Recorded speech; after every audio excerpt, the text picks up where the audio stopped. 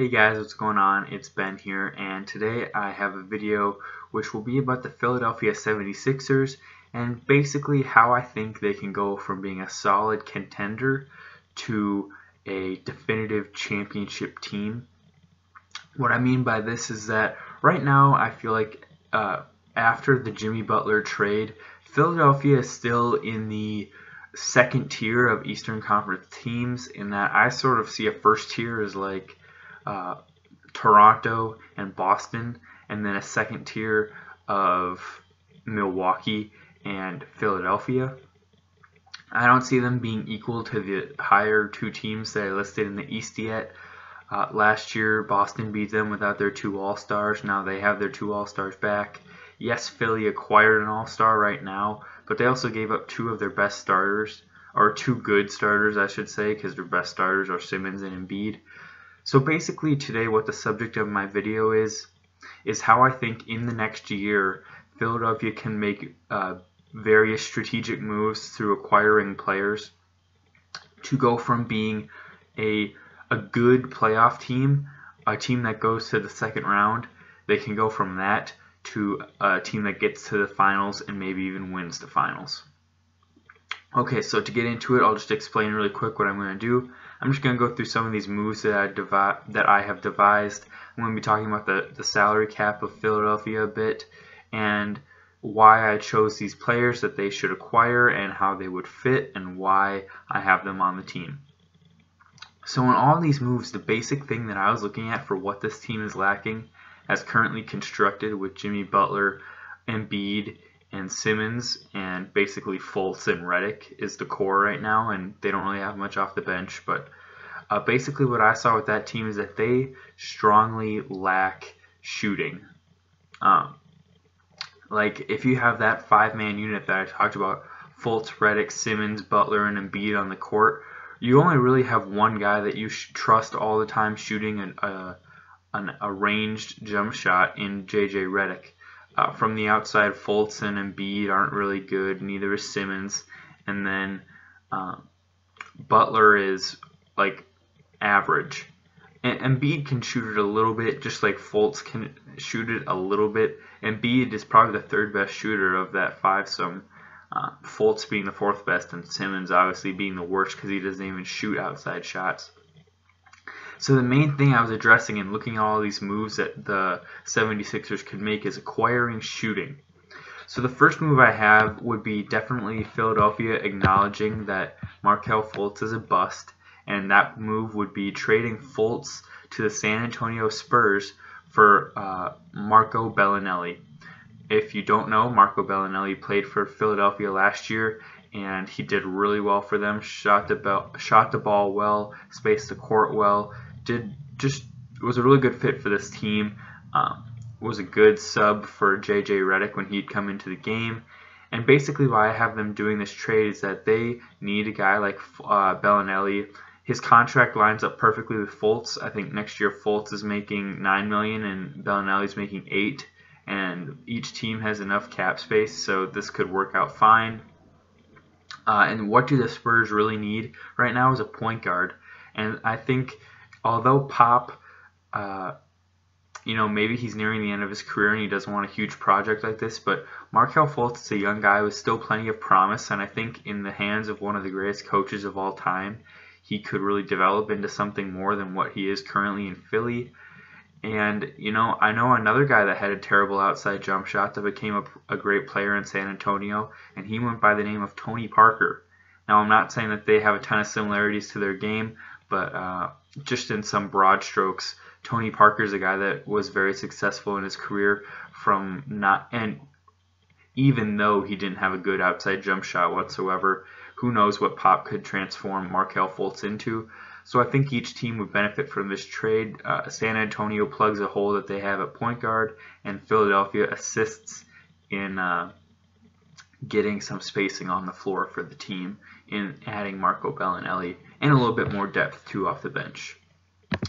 Looking at the the next move, or basically the next couple of moves for this team, I'm looking at the salary cap for Philadelphia after this season ends, and they will have about $50 million on the books. The only players that they'll have on the books are Embiid, let's say Belinelli if they would have traded for him, uh, Ben Simmons, Zhaire Smith, Landry Shamet, and then Jonah Bolden. Those guys add up to around $52 million or uh, 51 million, and the the soft cap in the NBA is 101 million, with the hard cap at 123 meaning that if a team is willing to pay the money, they can go up to 123 million. So I'm going to assume that Philadelphia is willing to go up to that total. Uh, for the purposes of this video, which most teams are, by the way. Most teams are willing to go beyond that soft cap up to the hard cap threshold of the luxury tax. So, that being said, I think that their first move in the offseason should be to re sign Jimmy Butler. Uh, okay, just wait really quick before I get into that. They so the the max or the the hard cap is 123 million. They have 51 on the books. So essentially they have 70 million dollars in cap space to deal with. So basically that 70 million dollar figure is what I'm going to be referring to throughout the video. So okay, moving on. The first thing I think they should do is re-sign Jimmy Butler, who I think will demand roughly 30 million dollars. He wants a max, but I think they'll be able to get him to sign for 30. Okay, so that's the first move. Sign Jimmy Butler for 30 million. Now that leaves you with roughly $40 million left in cap space. Um, and what I think that they should do is next go out and sign JJ Redick back because he's going to be a free agent, and I think that they still need him on the team. Uh, this this year he's averaging 18 points a game, shooting it pretty well. Um, last year he scored 17 points a game and shot 42% from three point land. So I think obviously he's a pretty good player. He's making $12 million this year. What I would do is uh, try to sign him for around 10, and then that would leave you with around $30 million left in cap space, which I think is very doable to still make some impact free agent signings. Uh, okay, so after that, what I would do next is try and sign uh, Bojan Bogdanovic, who plays for the Pacers right now. He's on an expiring contract after this year. Uh, just to review, he for his career has averaged 12 points a game and has shot 38% from three. Uh, last year he shot 40% from three. This year he's actually shooting 52% from three-point land. And what does this team need? As I said previously, they need spacing. So if you've noticed so far, the guys that, that I think that they should bring in are Belinelli, uh, who shoots 38% from three for his career, JJ Redick, who shoots over 40% from three for his career, and Bogdanovic, who's currently shooting 52% from three and 38% from their first career. And just if you don't know, uh, like 35% is pretty average from three, so anything above that's like good. Um, okay, so sign Bogdanovic for around 10 million. I'd try to aim for. He's making eight now. I think that 10 would be pretty reasonable. Um, so get him for $10 million. That's a good pickup for them. This leaves them with around $20 million in cap space. Now, a guy who I think would be interesting for them to sign, I think would also be beneficial, would be Trevor Ariza, who most people recognize him as playing with the Rockets as of late. Um, this year he's playing for the Suns on a one-year deal for $15 million. I think that that's a little bit of an overpay for him. I think he's going to be 34 next season, so I think he'd be reasonable enough to not expect that amount of money uh, for his services. I think he'd accept 10 from Philadelphia, which would be pretty reasonable and pretty fair for what he'd bring to the table. Probably around 10 points a game on decent shooting numbers and good defense. Again, for his career, he shoots 35% from three, and last year he shot 37% from three, so a good outside threat. And especially defense would be his defense would be good for this team as well. And then the last, uh, so that leaves them with $10 million. And at this point, they have, I think, around a, 10 or 11 guys on their roster, including all these moves. So then what I would do is re-sign Mike Muscala, who this year is only making, I think, five. He's making, uh, let's see here. He's making five million, and I tried to re-sign him for that same amount, five million. He really doesn't do much of anything.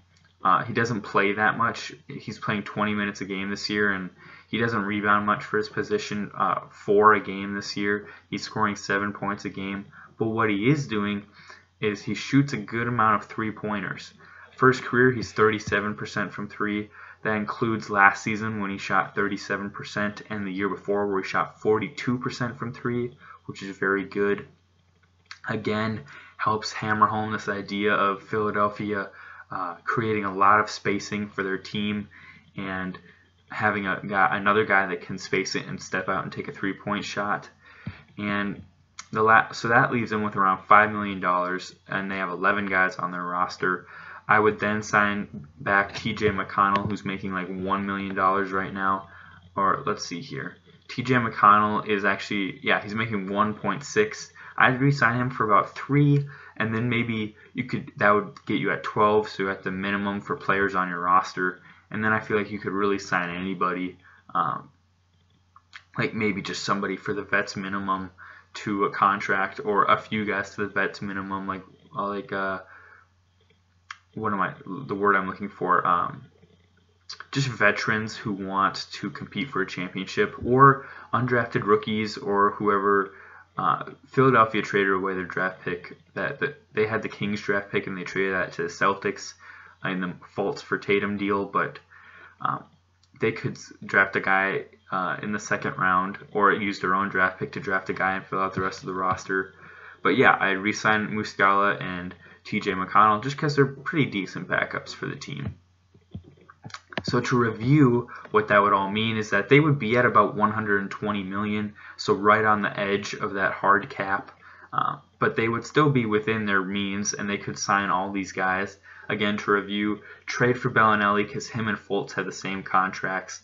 Try to sign Butler for around 30 and then sign Redick, Bogdanovic, and Ariza all to around $10 million contracts.